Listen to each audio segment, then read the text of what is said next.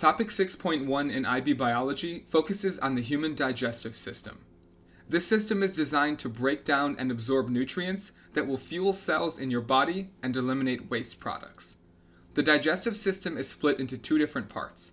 The first part, called the alimentary canal, consists of organs that food passes through. The second part consists of accessory organs that food does not actually touch or pass through. Even though food does not pass through them, they help tremendously with many tasks that make the digestive system function properly. These two images depict real and digitally created digestive systems. Let's label the structures and talk about their functions. Starting with the organs of the alimentary canal, when food enters your mouth, you physically break down food molecules with your teeth and send it down your esophagus when you swallow.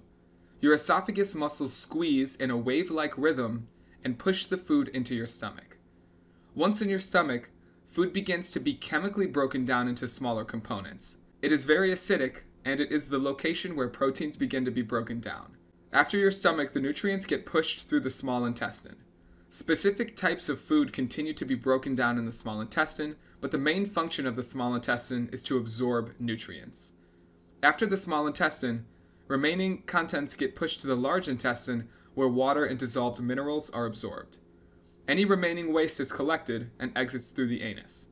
Now I know you're thinking, why is it called the small intestine if it is longer than the large intestine? The name of this comes from the diameter of the tube.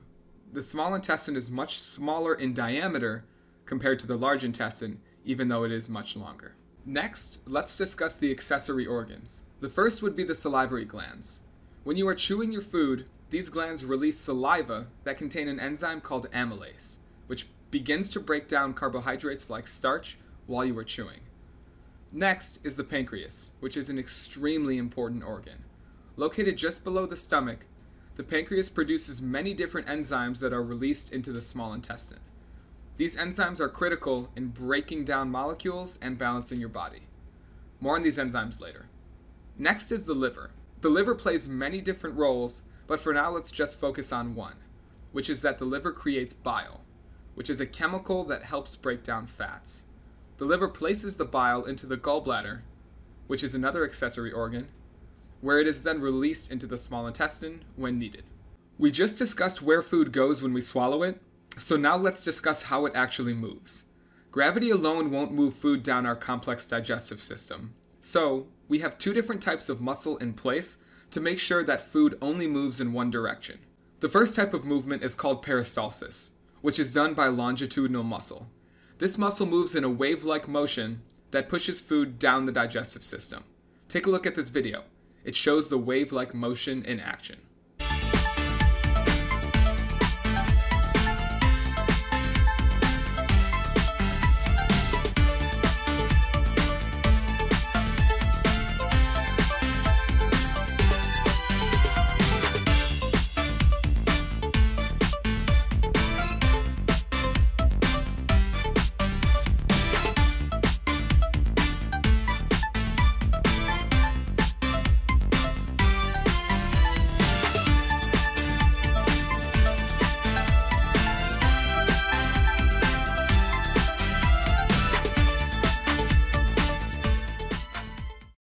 This type of movement occurs in the esophagus, stomach, and intestines.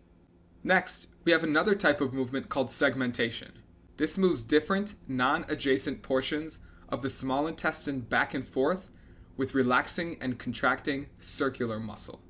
The main purpose of this muscle movement is not to move food from one end to the other, but instead to mix food with enzymes so it can be properly broken down. Again, this movement occurs with circular muscle, primarily in the small intestine.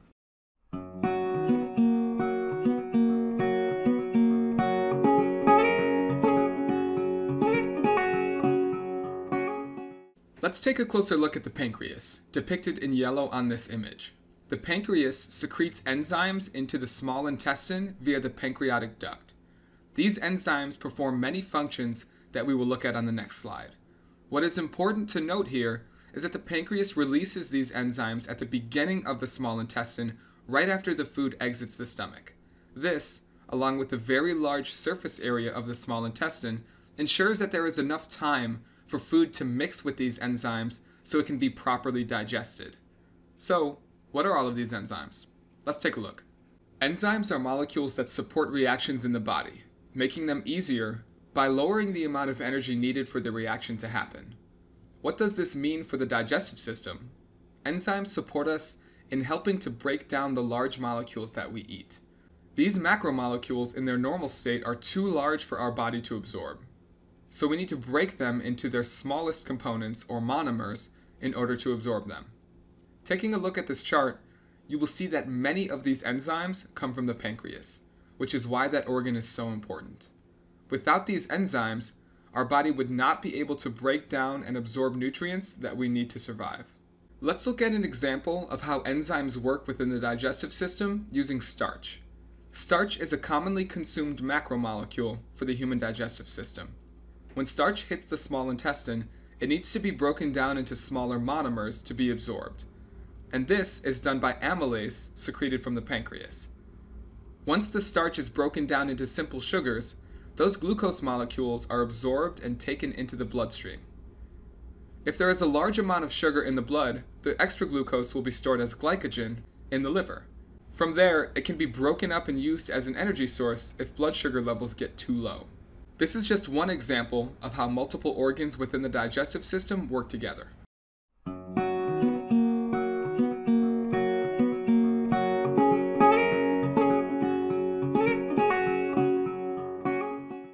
We zoom in on the small intestine, the structure is very unique. Let's remember that the main function of the small intestine is to absorb nutrients. In order for this to happen at a high rate, the lining of the small intestine needs to have a large surface area for molecules to pass through and enter the bloodstream. The small intestine achieves this goal by having structures called villi.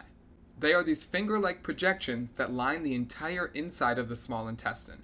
Because they are long and thin, they greatly increase the surface area that broken down food molecules pass through, meaning more nutrients can be absorbed at a time.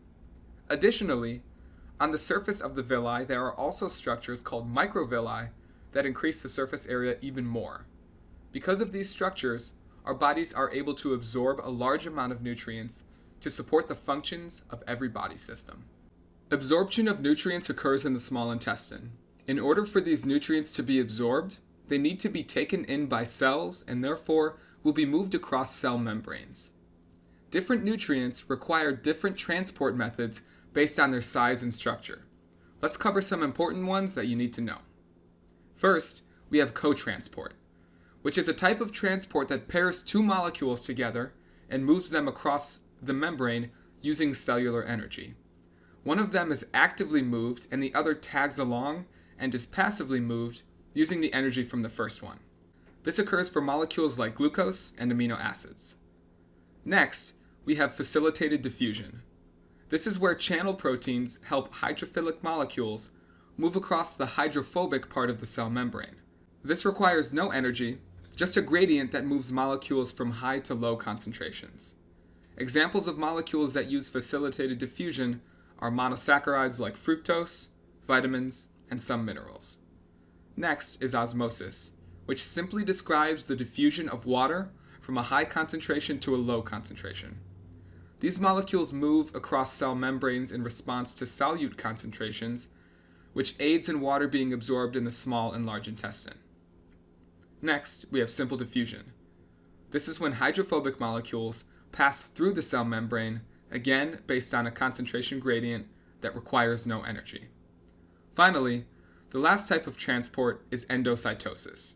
This can move molecules in bulk across the membrane by creating a vesicle that moves contents into the cell. To model how the small intestine absorbs materials, scientists often use dialysis tubing.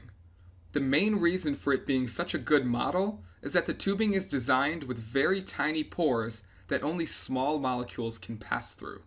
Just like the workings of the small intestine, only molecules of a certain size can get past the cell membrane. This is why our body goes through so much trouble secreting enzymes that break down molecules into small pieces, or monomers. If we didn't, the molecules would be too large for the small intestine to take in, much like how these large molecules seen here cannot move across the layer of dialysis tubing.